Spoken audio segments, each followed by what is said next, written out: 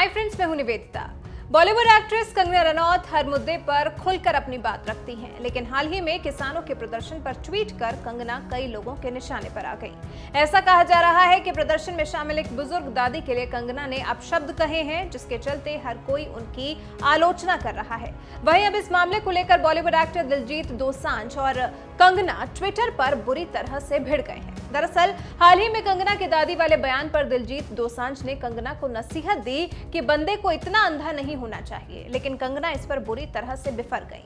उन्होंने ट्विटर पर ही दिलजीत दोसांझ पर पलटवार करते हुए जवाब दिया और दिलजीत को करण जौहर का पालतू बता दिया। कंगना ने ट्वीट कर लिखा ओ करण जौहर के पालतू जो दादी शाहीन बाग में अपनी सिटीजनशिप के लिए प्रोटेस्ट कर रही थी, वही बिल्किस बानो दादी जी फार्मर्स के एमएसपी के लिए भी प्रोटेस्ट करती हुई दिखी।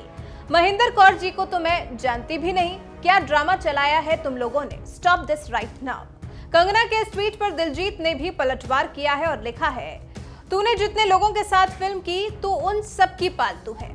फिर तो लिस्ट लंबी हो जाएगी मालकों की। झूठ बोलकर लोगों को भड़काना और इमोशन से खेलना, वो तो आप अच्छे से जानती हो। इसके बाद कंगना ने फिर से जवाब दिया और ट्वीट कर लिखा, सुनो गिद्दो, मेरी खामोशी को मेरी कमज़ोरी मत समझना। मैं सब देख रही हूँ किस किस तरह से तुम झूठ बोलकर मासूमों को भड़का रहे हो और उनका इस्तेमाल कर रहे हो। जब शाहीन बाग की तरह इन धरनों का रहस्य खुलेगा तो मैं एक शानदार स्पीच लिखूँगी और तुम लोगों का मुँह काला करूँगी।